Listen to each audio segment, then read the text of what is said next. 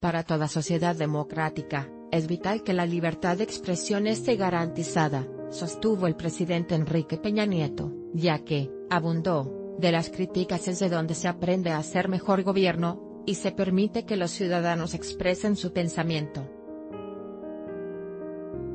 En el marco de la entrega del Premio Internacional Carlos Fuentes a la creación literaria en el idioma español, que en esta ocasión fue otorgado al escritor español Luis Sologuey, Peña Nieto mencionó que a lo largo de la historia, los países hispanoamericanos hemos aprendido el valor de la libertad de expresión y, de la crítica, que son hoy un pilar de nuestras democracias. Luis Solo y Carlos Fuentes, ejemplos de la riqueza literaria recordó que precisamente, Carlos Fuentes y Luis Solo son ejemplos de la riqueza intelectual, y literaria que pueden surgir en una sociedad que defiende la libertad de expresión y rechaza la censura.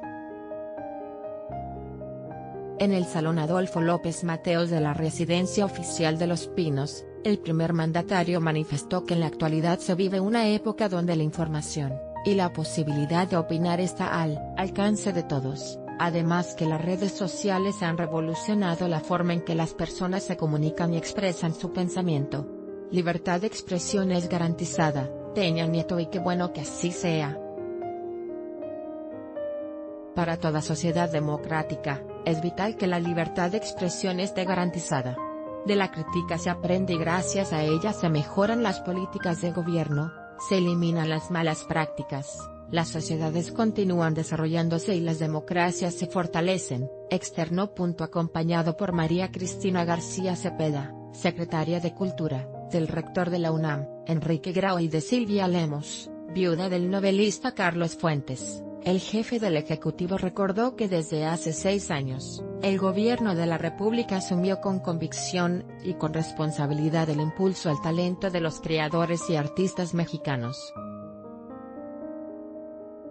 A través de becas, programas de fomento a la creación, y con el fomento de actividades culturales hemos dado continuidad a la gran tradición literaria y artística del país. Secretaría de Cultura, simboliza la relevancia que el gobierno le ha dado al arte de ahí. La creación de la Secretaría de Cultura simboliza la relevancia que le hemos dado al arte y a la cultura en este gobierno, por lo que a un mes de que concluya esta administración quiero expresar mi más profundo reconocimiento a María Cristina García Cepeda por su extraordinaria labor al frente de esta secretaria.